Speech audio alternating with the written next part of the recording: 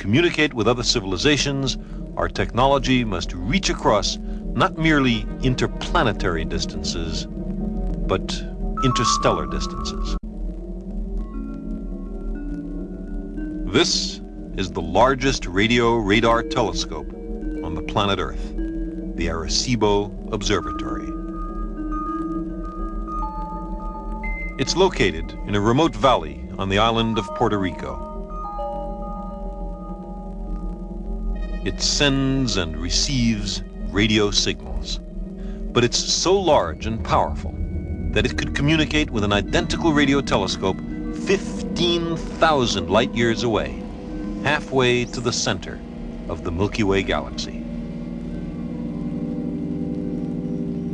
The Arecibo Observatory has been used, although sparingly, to search for signals from civilizations in space, and just once, to broadcast a message to a distant star cluster called M13.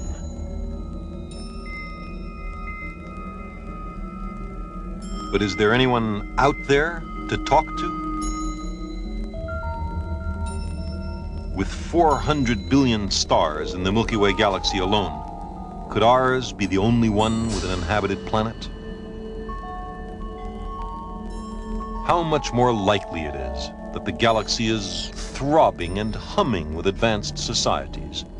Perhaps near one of those pinpoints of light in our night sky, someone quite different from us is glancing idly at the star we call the sun and entertaining just for a moment an outrageous speculation. If there are millions of technical civilizations in the Milky Way, each capable of radio astronomy, how far away is the nearest one?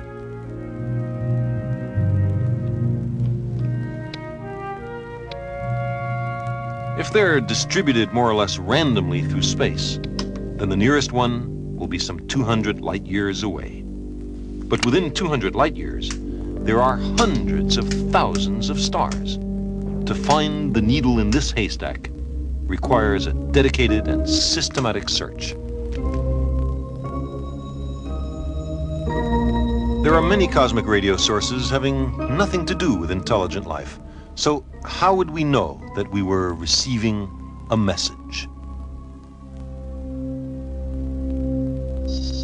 The transmitting civilization could make it very easy for us if they wished. Imagine we're in the course of a systematic search or in the midst of some more conventional radio observations. And suppose one day we find a strong signal slowly emerging, not just some background hiss, but a methodical series of pulses.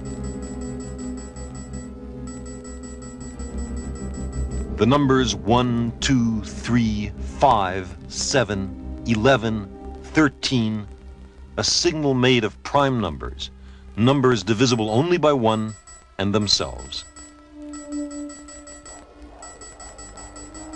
There is no natural astrophysical process that generates prime numbers we would have to conclude that someone fond of elementary mathematics was saying hello.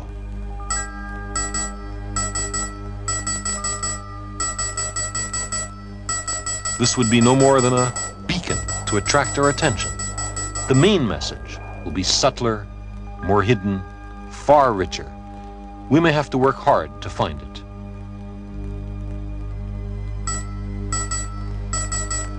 But the beacon signal alone would be profoundly significant. It would mean that someone has learned to survive technological adolescence, that self-destruction is not inevitable, that we also may have a future.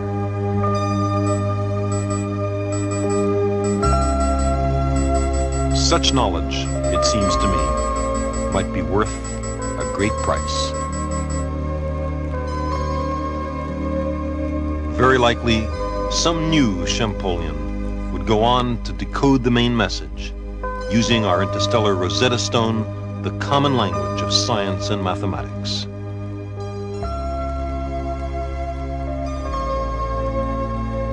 Think of the glories of an exotic civilization far more advanced than we, collected by the great radio telescopes of Earth.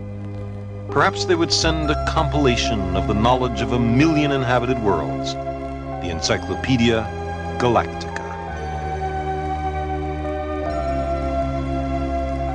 The receipt of an interstellar message would be one of the major events in human history and the beginning of the deprovincialization of our planet.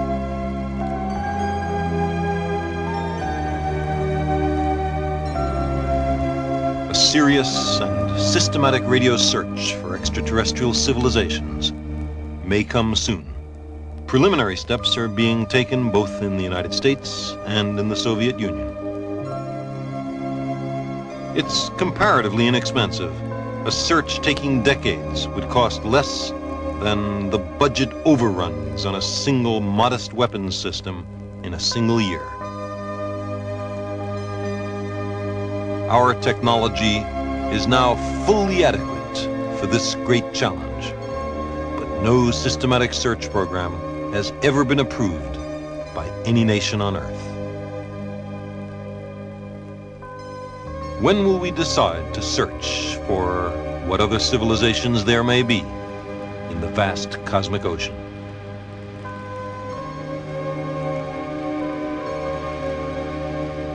But whether there are only a few advanced galactic civilizations or millions, shouldn't some of them have voyaged to Earth?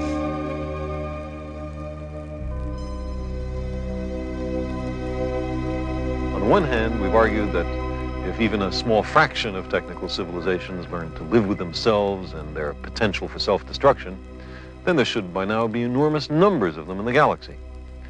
On the other hand, despite claims about UFOs and ancient astronauts, there's no credible evidence that the Earth has been visited, now or ever. But isn't this a contradiction? If the nearest civilization is, say, uh, 200 light years away, it would take them only 200 years to get from there to here at the speed of light. Even if they were traveling a thousand times slower than that, beings from a nearby civilization could have come here during the tenure of human beings on the Earth. So why aren't they here? There's many possible answers. One is that maybe we're the first. Some technical civilization has to be first to emerge in the history of the galaxy. Or maybe all technical civilizations promptly destroy themselves. That seems to me very unlikely. Or maybe there's some problem with interstellar spaceflight that we've been too dumb to figure out. Or maybe they are here, but uh, in hiding because of some ethic of non-interference with emerging civilizations. We might imagine them curious and dispassionate, watching us to determine whether this year again we manage to avoid self-destruction. But there's another explanation which is consistent with everything else we know, and that's that it's a big cosmos.